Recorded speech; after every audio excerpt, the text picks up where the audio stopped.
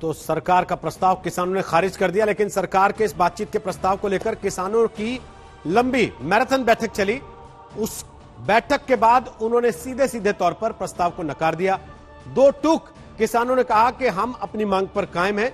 जो तीन कृषि कानून सरकार लेकर आई है, उन तीनों कानूनों को सरकार को रद्द करना पड़ेगा। ठोस प्रस्ताव अगर सरकार की तरफ़ से आता है तो हम उस पर विचार करने के लिए तैयार होंगे, ये भी किसान कह रहे हैं, लेकिन साथ ही चेतावनी भी दे रहे हैं। कि सरकार उनके आंदोलन को हल्के में कतई ना ले। उन्होंने कहा है कि हम तिकड़म नहीं चाहते, हम सरकार से हल चाहते हैं।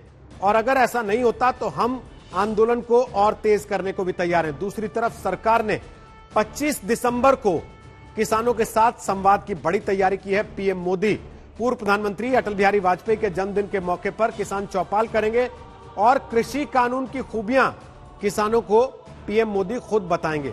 और बीजेपी के कार्यकर्ता, कृषि मंत्री की चिट्ठी को घर घर लेकर जाएँगे, जिसमें सरकार ने किसानों के लिए क्या क्या किया है, वो बात किसानों तक पहुँचाने की तैयारी सरकार और बीजेपी दोनों ने की है। यूपी के ढाई हज़ार किसानों के साथ पीएम की चौपाल होगी और ढाई हज़ार जगहों पर ही किसान संपर्क अभियान भी चलाने की तैयारी सरकार ने की है और पीएम इस कार्यक्रम में वीडियो कॉन्फ्रेंसिंग के ज़रिए किसानों के साथ जुड़ेंगे।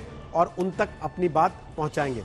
इसके अलावा अट्ठारह हज़ार करोड़ रुपए की किसान निधि जारी करने की तैयारी सरकार ने की है। करीब 9 करोड़ किसान परिवारों में प्रति परिवार 2000 रुपए सरकार रिलीज़ करेगी 25 दिसंबर, यानी कि पूर्व प्रधानमंत्री अटल बिहारी वाजपेयी के जन्मदिन के मौके पर। तो एक तरफ़ किसान है जो तीनों कानून वापस लेने पर अड़े हुए हैं और दूसरी तरफ़ किसानों को मनाने की सरकार की सारी कोशिशें लगातार चल रही है। अब 25 दिसंबर को पीएम की चौपाल होगी।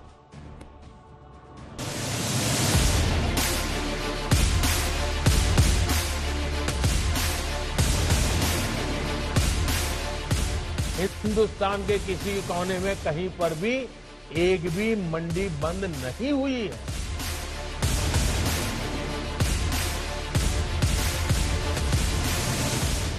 एमएसपी हटानी होती तो स्वामीनाथन कमेटी की रिपोर्ट लागू ही क्यों करते भाई?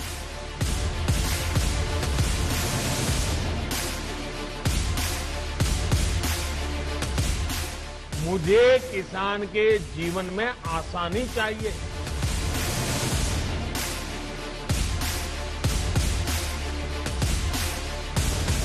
एक और सड़कों पर किसान डटे हुए हैं। तो दूसरी ओर सरकार की ओर से मनाने की कोशिशें जारी है।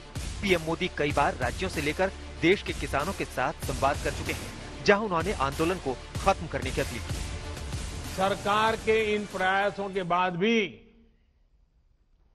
अगर किसी को कोई आशंका है तो हम सर झुकाकर किसान भाइयों के सामने हाथ जोड़कर बहुत ही विनम्रता के साथ देश के किसान के हित में उनकी चिंता का निराकरण करने के लिए, हर मुद्दे पर बात करने के लिए तैयार हैं। 25 दिसंबर यानी पूर्व प्रधानमंत्री अटल बिहारी वाजपेयी के जन्मदिन पर पीएम नरेंद्र मोदी किसानों से फिर संवाद करेंगे। इस बार अवध के किसानों को पीएम मोदी नए कृषि कानूनों की खूबियाँ बताएँगे। इसके साथ ही उत्तर प्रदेश बीजेपी कार्यकर्ता, केंद्रीय कृषि मंत्री नरेंद्र सिंह तोमर की चिट्ठी लेकर घर घर जाएँगे।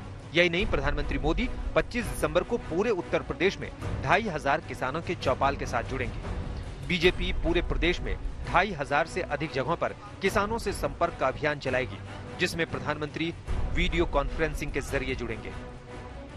उत्तर प्रदेश में किसानों को जोड़ने का ये सबसे बड़ा मेगा कार्यक्रम होने जा रहा है। वहीं कानून का समर्थन करने वाले किसानों के दल भी लगातार सरकार से मिल रहे हैं। 25 दिसंबर को प्रधानमंत्री नरेंद्र मोदी किसान सम्मान निधि की सातवीं किस्त जारी करेंगे। दूसरी ओर कृषि मंत्री नरेंद्र सिंह तोमर भी लगातार किसानों से बातचीत शुरू करने की अपील कर रहे हैं। कई किसान संगठन ऐसे हैं जो इस कानून का समर्थन कर रहे हैं।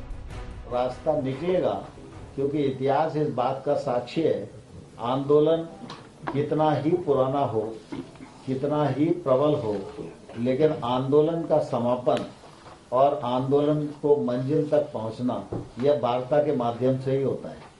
और इसलिए मुझे पूरा विश्वास है वार्ता होगी। आज किसानों को लेकर सरकार की ओर से प्रेस कॉन्फ्रेंस भी की गई जिसमें 25 दिसंबर को 9 करोड़ किसानों के खाते में अठारह हज़ार करोड़ देने की बात कही गई। वहीं बीजेपी ने किसान आंदोलन को लेफ़्ट की एक बड़ी साजिश बताया। How the left is trying to hijack the kisan andolan for its own political benefits कुछ ऐसे अवांछित तत्व और खास करके वामपंथी तत्व जो किसानों के बीच किसान बन के घुस गए हैं, उनसे देश को सावधान रहने की आवश्यकता है, वरना वो अपने एजेंडे को चलाएँगे और किसान के जो मुख्य बिंदु हैं, उसे भटकाएँगे। सरकार लगातार किसानों को मनाने की कोशिश कर रही है। मंत्री से लेकर मुख्यमंत्री तक किसानों के साथ सभाएँ कर रहे हैं। आज किसान दिवस को योगी सरकार ने किसान सम्मान दिवस के रूप में मनाया। लखनऊ में विधानसभा के बाहर पहुंचकर सीएम योगी ने चौधरी चरण सिंह की मूर्ति पर माल्यार्पण किया। वहीं किसान दिवस पर ट्रैक्टर बांटे। योगी ने किसानों से आंदोलन खत्म करने की अपील की। वहीं विपक्ष पर किसानों को गुमराह करने का आरोप लगाया। किसान के चेहरे पर खुशहाली लाने के लिए ही आज कृषि क्षेत्र में तेज़ी के साथ सुधार के लिए प्रधानमंत्री जी के, के प्रयास से उनके मार्गदर्शन से केंद्र सरकार ने तीन कृषि कानूनों में भी व्यापक सुधार किए। बहरहाल सरकार की तमाम कोशिशों के बीच किसानों का आंदोलन जारी है। दिल्ली की सीमाओं पर किसान डटे हुए हैं। लखनऊ से कुमार अभिषेक के साथ आज तक ब्यूरो।